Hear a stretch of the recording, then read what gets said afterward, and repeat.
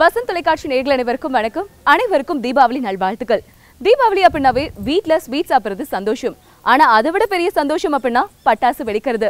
பட்டாசு வெடிக்கிற ஒவ்வொரு பட்டாசும் பார்த்தீங்கன்னா ஒரு நிமிஷத்தில் வெடிச்சிரும். ஆனால் அந்த ஒவ்வொரு பட்டாசும் தயாராகிறதுக்கு பல நாட்கள் எடுத்துக்குது. அந்த விஷயம் நிறைய பேருக்கு தெரியாது. இன்னைக்கு இந்த சரவடி நிகழ்ச்சியில் அதை தான் நீங்கள் தெரிஞ்சுக்க போகிறீங்க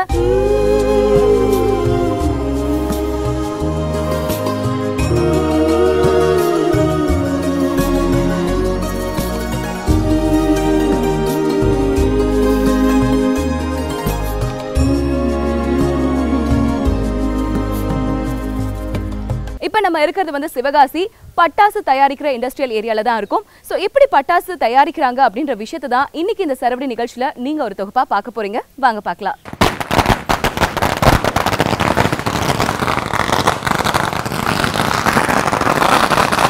வான வேடிக்கையோட முதல் நிலை எப்படி ஆரம்பமாகுது அப்படின்றத இப்போ பார்க்கலாம். வான வேடிக்கை தயாரிக்கிறதோட முதல் நிலை இந்த இடத்துல தான் பண்ணிட்டு இருக்காங்க. அது எப்படி உருவாக்குறாங்க அப்படின்றத உருவாக்குறவங்க கிட்டயே கேட்கலாம். வாங்க.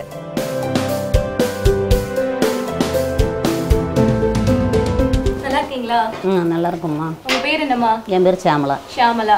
எந்த ஊர் நீங்க? என் சொந்த ஊர் வந்து திருத்தங்கல். திருத்தங்கல். திருத்தங்கல். இங்க எத்தனை வருஷமா வேலை பாக்குறீங்க நான் பதிமூணு வருஷமாக வேலை பார்க்குறேன். ஓகேம்மா. வான வேடிக்கை தயாரிக்கிறது கூட முதல் நிலை. ஆரம்பம் வந்து இப்படிதான் தயாரிக்கிறதுன்னு இருக்குல்ல. இது என்ன மாதிரி பொடி? அதை எப்படி நீங்க உருவாக்குறீங்க? அதை பத்தி அதாவது வந்து எங்களுக்கு லேபிள்ல இருந்து இந்த தூசி எங்களுக்கு அனுப்பிவிட்றாங்க. ஆ. இது வந்து ஸ்டார்ட் பண்ணி இதுதான் நாங்கள் தண்ணியை உ- சுத்தமான தண்ணியை ஊற்றி. பிணைஞ்சு எடுத்து மணி ஆக்குறோம். அதான எங்களுக்கு கலர் கலராக தெரியக்கூடிய வெடிக்கக்கூடிய இதை தூக்கி கொடுக்குற மணி இதுதான். அதை தான் நாங்கள் தயார் பண்ணிக்கிட்டு இருக்கோம். சரி அந்த பொடியோட பேர் என்ன? இது வந்து நாங்கள் கரித்தூசியும் போ கரி தூசி ம் கரித்தூசியும் போ இதுல என்னென்ன கலக்குறாங்கன்றது உங்களுக்கு தெரியும்? அந்த இது வந்து அவங்களுக்கு தான் அவங்களுக்கு தான் தெரியும். தயாரிக்க மட்டும்தான் மட்டும் எங்கள் பொறுப்பு. சரி இது எப்படி தயாரிப்பீங்க? அந்த பொடியை எடுத்து போட்டு வேற என்ன பண்ணுவீங்க? இந்த பொடியை பொடி நாங்கள் அள்ளி போடுவோம்.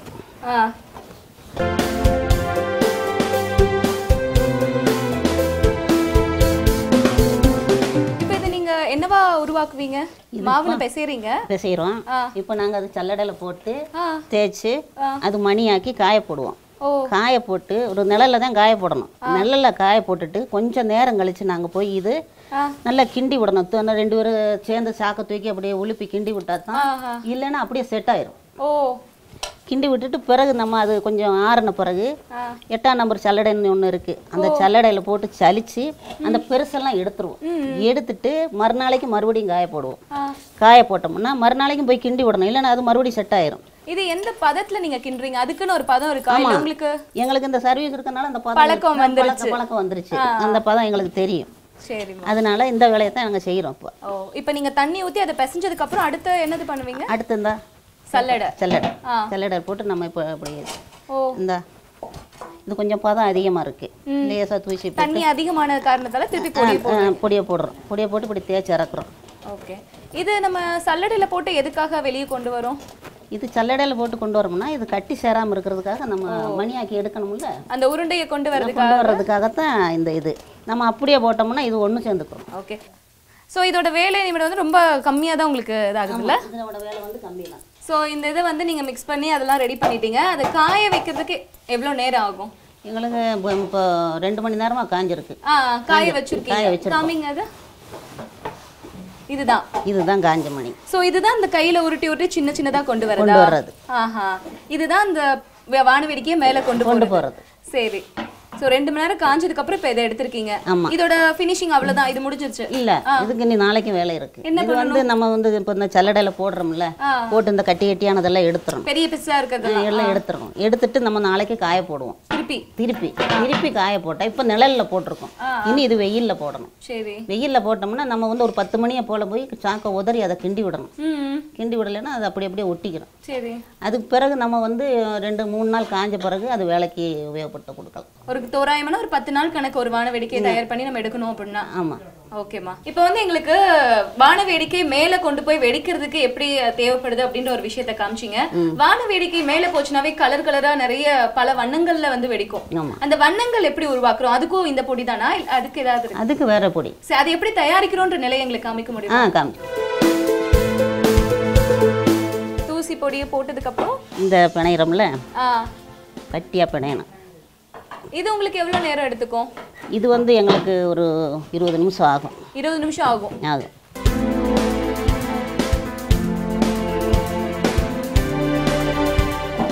திருப்பி இதை ஜலிக்கணுங்களா? இல்லை இப்போ தேய்க்கிறேன். Okay okay. இது எதுக்காக நம்ம தேய்க்கிறோம்? அந்த கட்டி விழாம இருக்கிறதுக்காக? அல்ல அது வந்து இந்த உருண்டை ஆகணும்ல? பால் பாலாக வரணும்ல? ஆ. அதுக்காகத்தான் இந்த எடுக்கிறது. Okay okay. சோ நீங்க ஜல்லடை வந்து பல இதுல வச்சிருக்கீங்க பல வகை வச்சிருக்கோம். ஆமாம் ஒவ்வொரு மணிக்கு ஒவ்வொரு அதுக்கு சைஸில் ஏத்த மாதிரி இது பண்ணிப்பீங்களா?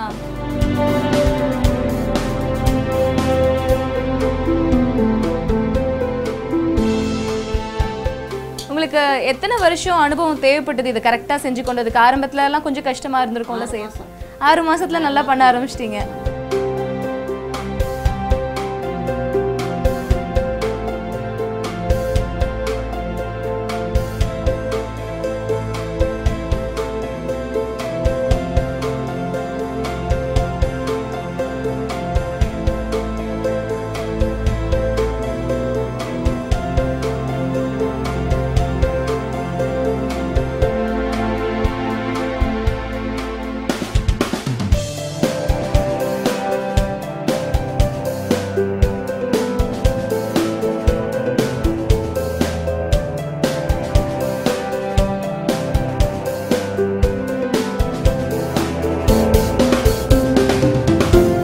இப்போ நீங்கள் பார்த்துட்டு இருக்கிறது பார்த்தீங்கன்னா இதுதான் அந்த லிஃப்டிங் மணி வான வேடிக்கையை வந்து மேலே கொண்டு போகிறதுக்கு தயார் பண்ணதை வந்து காய வச்சுருக்காங்க.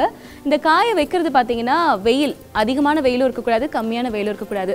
நாற்பது டிகிரி செல்சியஸ்லேருந்து அறுபது டிகிரி செல்சியஸ் வரைக்கும் இருந்தால் தான் இதை காய வைக்கணும் அப்படின்ற ஒரு ப்ரொசீஜரும் இருக்குது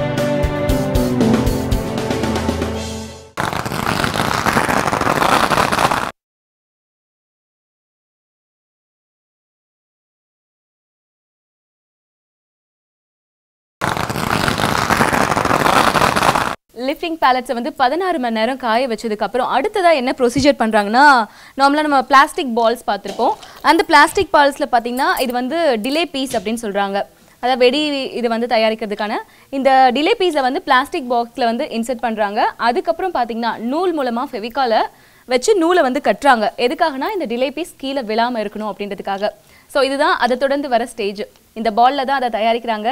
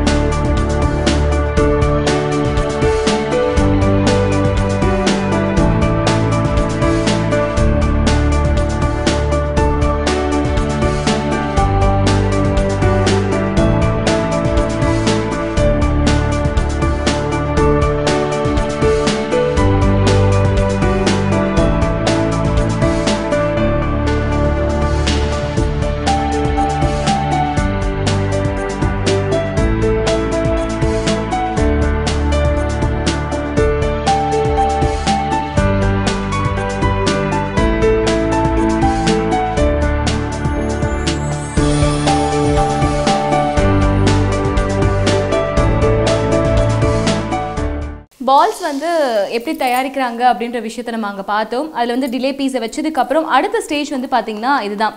அதாவது பால்ஸ் வந்து சின்ன சைஸ் பெரிய சைஸ்னு நிறைய இருக்குது அதில் இந்த சைஸ் இதில் பார்த்தீங்கன்னா கலர் பேலட்ஸ் நம்ம சொன்னோம்ல. கலர் வண்ணங்களில் அதிகமாக காமிக்கிறதுக்கு ஃபஸ்ட்டு கலர் பேலட்ஸ் இந்த பாலில் போடுறாங்க.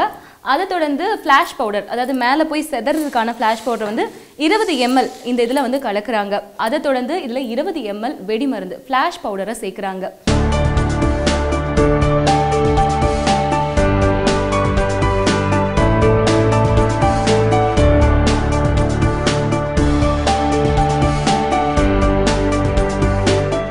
அடுத்ததாக பார்த்தீங்கன்னா அங்கே பால் தயாரிக்கிறத பார்த்தோம். அந்த பால் தயாரிச்சதுக்கப்புறம் வெடி மருந்தை ஃபில் பண்ணதுக்கப்புறம் அந்த பாலில் பார்த்தீங்கன்னா செல்லோ டேப் ஒட்டுறாங்க. செல்லோ டேப் ஒட்டினதுக்கப்புறம் கம் மூலமாக ரெண்டு பேப்பர் ரெண்டு காட்டன் துணியை வச்சு அதை ஃபுல்லாக சுற்றுறாங்க ஏன்னா அதில் இருக்க எந்த ஒரு விஷயமும் கீழே விழுந்துடக்கூடாது அப்படின்றதுக்காக அதுதான் இப்போ நீங்கள் பார்த்துட்ருக்கீங்க செல்லோ டேப்பை தொடர்ந்து அது ஃபைனல் பண்ணது தான் இங்கே வச்சுருக்காங்க. கம் போட்டதுக்கப்புறம் பார்த்தீங்கன்னா இதை காய வைக்கிறாங்க.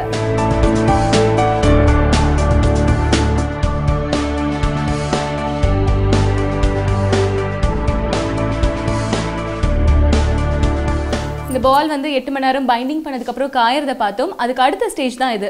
காய வச்சதுக்கப்புறம் பார்த்தீங்கன்னா இதில் திரியை இன்செர்ட் பண்ணுறாங்க இது எதுக்குன்னா பாந்து வந்து வெடிக்கிறப்ப எந்த ஒரு ஃபெயிலியரும் வந்துடக்கூடாது அப்படின்றதுக்காக. இதை பண்ணதுக்கப்புறம் பார்த்தீங்கன்னா அவங்க வந்து தண்ணியும் வெடிமருந்தும் அதில் கலந்துருக்காங்க. கலந்து இந்த திரியை வந்து ரெண்டும் சேர்த்து தண்ணியில் டிப் பண்ணி அதாவது தண்ணியில் முக்கி அந்த வெடிமருந்தில் ஃபிக்ஸ் பண்ணுறாங்க அதுக்கப்புறம் இதை எட்டு மணி நேரம் காய வைக்கணும். அதை பற்றின சின்ன தொகுப்பை இப்போ பார்க்கலாம்.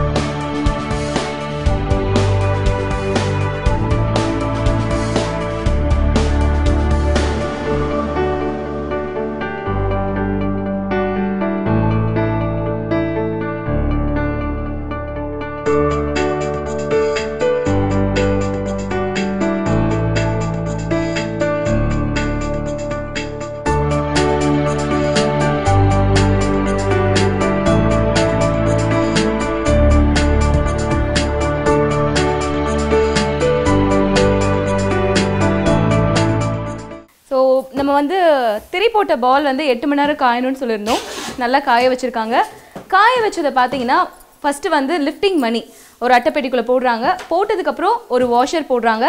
அதை தொடர்ந்து இந்த பாலை வந்து அந்த அட்டைப்பெட்டிக்குள்ளே போடுறாங்க. போட்டதுக்கப்புறம் பார்த்தீங்கன்னா மறுபடி ரெண்டு வாஷரை போடுறாங்க.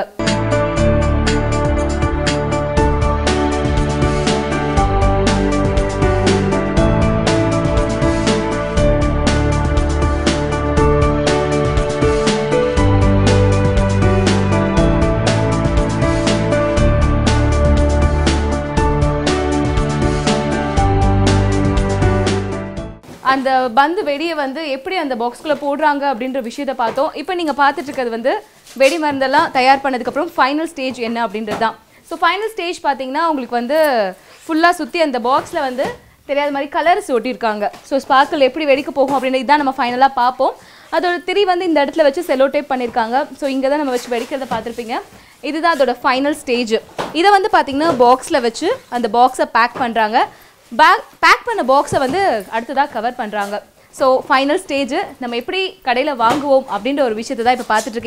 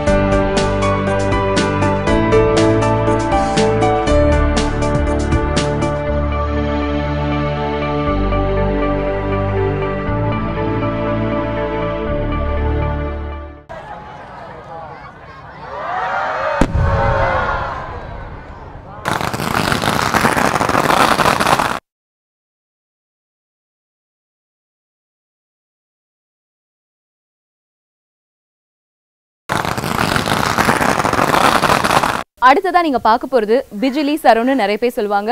இது வந்து வெடிக்கிறது வந்து ஒரு செகண்ட்ல வெடிச்சிடும் ஆனா இதை தயார் பண்ற நிலை எப்படி அப்படின்றது தான் இப்போ நம்ம பார்க்க போறோம். இதோட அடுத்த நிலை என்ன அப்படின்றத இப்போ பார்க்கலாம். பிஜிலி சரோன்னு சொல்லக்கூடிய இதுதான் பாத்தீங்கன்னா இதுல ஃபுல்லா பேக் பண்ணியிருக்காங்க இது வந்து பேக் ஆகி இந்த இடத்துக்கு வந்ததுக்கு அப்புறம் மண் நார்மல் மண்ணை வந்து ஜலிச்சு சுத்தமா அதுல வந்து கம் எல்லாம் கலந்து பாத்தீங்கன்னா இதுல வந்து தேய்க்கிறாங்க. இது எதுக்காக தேய்க்கிறாங்க அப்படின்னா உள்ள வந்து மருந்து வெடி மருந்து போடுறப்ப அது கீழே கொட்டிடக்கூடாது அப்படின்றதுக்காக தேய்க்கிறாங்க. தேய்ச்சி இதை காய வைக்கிறாங்க.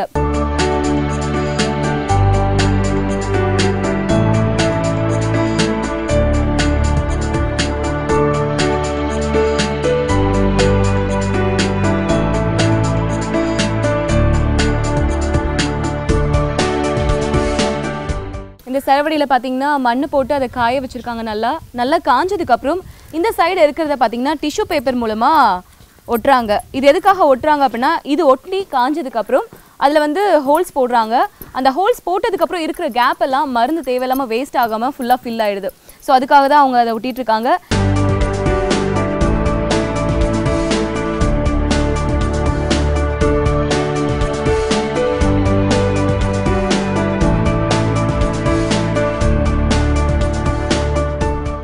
ஸோ இந்த இடத்துல இருக்கிறது பார்த்தீங்கன்னா காப்பர் பொதுவாக காப்பர் வந்து மின்சாரத்தை வந்து கடத்தக்கூடிய சக்தி அதிகம்னு சொல்லலாம். அந்த காப்பர் போர்டை தான் இங்கே வச்சுருக்காங்க.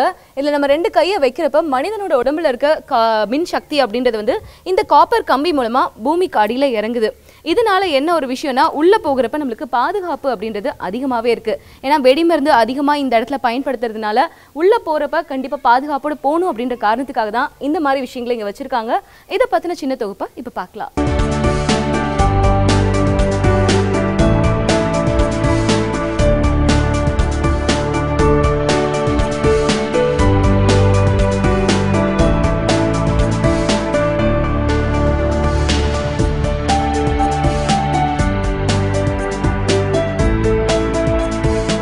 பட்டாசோட ரோல்குள்ள இந்த இடத்துல இப்போ நீங்க பார்த்துட்டு இருக்க இடத்துல தான் பாத்தீங்கன்னா அலுமினியம் மற்றும் மருந்து கலவையை கலந்து அதுல ஃபுல்லாவே ஃபில் பண்றாங்க.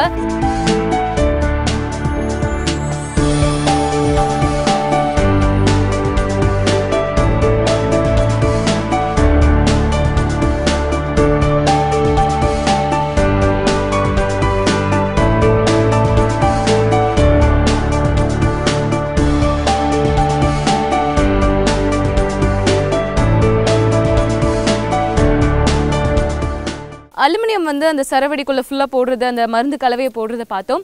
அதை தொடர்ந்து பார்த்தீங்கன்னா இந்த இடத்துக்கு அதை கொண்டு வராங்க. கொண்டு வந்து அது மேலே இப்போ மண்ணை தடவிட்டு இருக்காங்க. இந்த மண்ணை தடவினதுக்கப்புறம் அதை ஒரு நாள் காய வைக்கிறாங்க. காய வச்சதுக்கப்புறம் மீண்டும் இதில் பார்த்தீங்கன்னா ஊசியை வச்சு வளையம் போடுறாங்க. அந்த வளையத்துலலாம் குத்துறாங்க. அதுக்கப்புறம் ஒரு நாள் காய வச்சு அதுக்குள்ளே திரிய வைக்கிறாங்க. திரி வச்சதுக்கப்புறம் மீண்டும் ஒரு நாள் காய வைக்கிறாங்க. காய வச்சு அதை வந்து ஃபைனல் ஸ்டேஜுக்கு கொண்டு போகிறாங்க கொண்டு போய் அங்கேயும் ஒரு நாள் காய வச்சு அதுக்கப்புறம் தான் அந்த வெடியை வெளியே எடுக்கிறாங்க. ஸோ ஃபைனலாக அதுதான் பிஜிலி வெடி ஊசி வெடி அப்படின்னு வெளியே வருது. ஸோ வர வெடிக்களை வந்து தௌசண்ட் வலா அந்த மாதிரி பின்னி நிறைய விஷயங்கள் பண்ணுறாங்க அதோட தொகுப்பை இப்போ பார்க்கலாம்.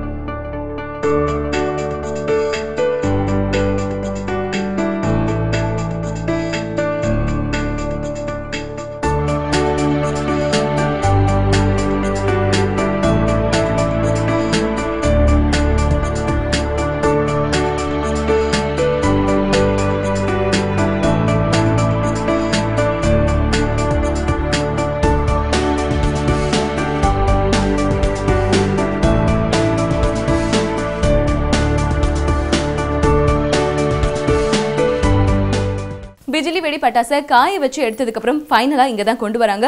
இங்கே கொண்டு வந்து தான் ஐயாயிரம் வாலா பத்தாயிரம் வாலா அதுக்கு ஏற்ற மாதிரி இங்கே அந்த பின்னலை போடுறாங்க. இதை தொடர்ந்து தான் பேக் பண்ண ஆரம்பிக்கிறாங்க. அந்த ஃபைனல் ஸ்டேஜ் தான் இப்போ நம்ம பார்க்க போகிறோம் வாங்க பார்க்கலாம்.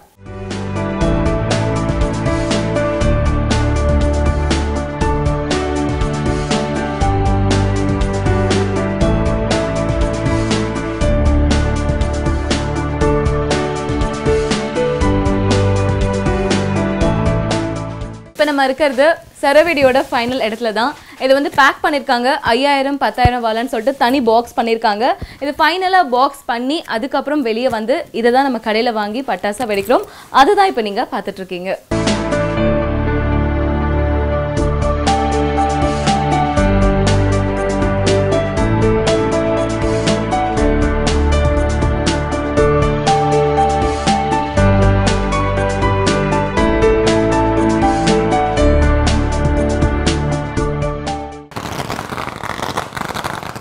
அடுத்ததா ஃப்ளவர் பாட்னு சொல்லக்கூடிய புஷ்பானம். இதை வந்து பார்க்கறதுக்கு தான் வந்திருக்கும். இப்போ நீங்க பார்த்துட்டு இருக்க இந்த கோன் தான் வெளியே இருந்து தயாராகி வருது. இதை ஆல்ரெடி காய வச்சு கொண்டு வந்திருக்காங்க. ஃப்ளவர் பாட்டுக்கான ஆரம்ப நிலை தான். வெளியே காய வச்சு எடுத்துட்டு வந்த இதுல வந்து பாத்தீங்கன்னா டிஷ்யூ பேப்பரை கம் போட்டு ஒட்டுறாங்க. ஒட்டி அதை காய வைக்கிறாங்க. அதுக்கப்புறம் தான் அடுத்தடுத்த ப்ராசஸ் போகுது. இதோட அடுத்த நிலை என்ன அப்படின்றத இப்போ நீங்கள் பார்க்க போகிறீங்க வெறும் வெ- வந்து பார்த்தீங்கன்னா மேலே முக்கோணமாக வடிவமைச்சிருக்காங்க. இதில் வந்து டிஷ்யூ பேப்பரை கவர் பண்ணி காய வச்சிருக்காங்க. காய வச்ச இந்த இதில் வந்து இங்கே அலுமினியம் கலவை அதை வந்து டிப்பிங் பண்ணுறாங்க டிப்பிங் பண்ணது மேலே மண் கலவையை மூடி அதை வந்து கிட்டத்தட்ட ஒரு நாள் ஃபுல்லாக காய வைக்கிறாங்க.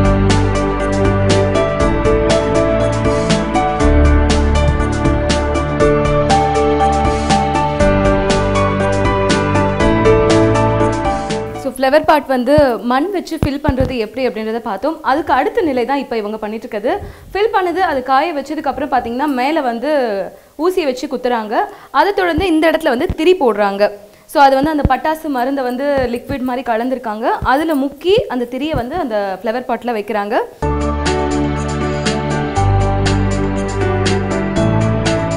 இதை தொடர்ந்து அடுத்த நிலை வந்து ஃபைனலாக பேக் பண்ணுறது அதுதான் அடுத்ததான் நம்ம பார்க்க போகிறோம் வாங்க பார்க்கலாம்.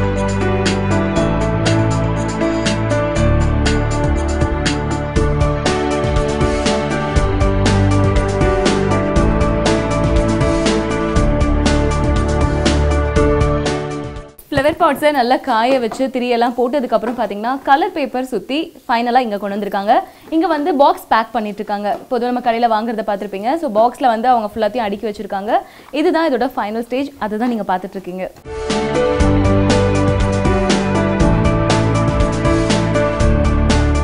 இப்போ நம்ம பார்த்துட்டு இருக்கிறது கம்பி மத்தாப்பு தயாரிக்கிறதோட முதல் நிலைன்னு சொல்லலாம். ஸோ இந்த கம்பி மத்தாப்பை வந்து பார்த்தீங்கன்னா கம்பிகள் அந்த கம்பி மத்தாப்புக்கு தேவையான சென்டிமீட்டர் அளவுக்கு கம்பிகளை எடுத்து கட்டை வச்சுருக்காங்க. அந்த கட்டைக்கு நடுவில் பார்த்தீங்கன்னா ஃபஸ்ட்டு அந்த கம்பியை வந்து போடுறாங்க.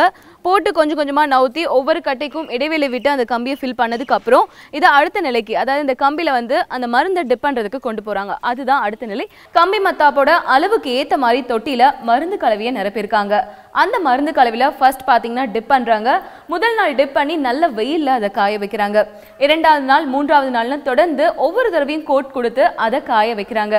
மூன்றாவது நாள் தொடர்ந்து நான்காவது நாள் பார்த்தீங்கன்னா அந்த கலவையை டிப் ஆன உடனே ஸ்பார்க்கிள்ஸை அதில் வைக்கிறாங்க.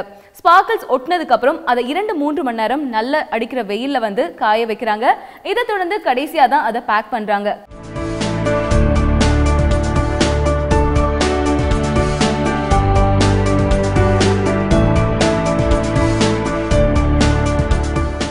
கம்பி மத்தாப்பு உருவாகிற விதம் அதெல்லாமே பார்த்தோம். கடைசி ஃபைனல் ஸ்டேஜ் முடிஞ்சு பேக்கிங்க்கு இங்கே கம்பி மத்தாப்பு வந்திருக்கு. இதுதான் நீங்கள் பார்த்துட்டு இருக்கீங்க. அவங்க பேக் பண்ணிட்டு இருக்காங்க. ஒரு நிமிஷத்தில் பட்டாசு அதெல்லாமே வெடிச்சு முடிச்சிருவோம். ஆனால் இந்த பட்டாசு தயாராகிறதுக்கு எவ்வளோ நாள் எடுத்துக்குது அப்படின்றது தான் இன்னைக்கு நீங்கள் பார்த்துருக்கீங்க.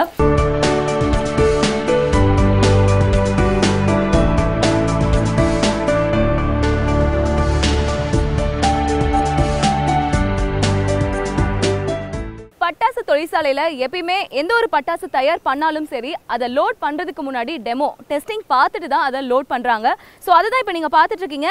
இந்த இது பார்த்தீங்கன்னா மேஜிக் ஷோ இதில் வந்து கலர் பேப்பர்ஸ் வண்ண கலர் பேப்பர்ஸ் டம்மி பேப்பர்ஸ் இதெல்லாம் வச்சுருக்காங்க. நிறைய ஃபெஸ்டிவல் ஃபங்க்ஷன்லாம் இந்த மாதிரி மேஜிக் ஷோ பட்டாசு வந்து வெடிக்கிறது பார்த்துருப்போம். ஸோ அதுதான் இப்போ நம்ம டெமோ பார்க்க போகிறோம்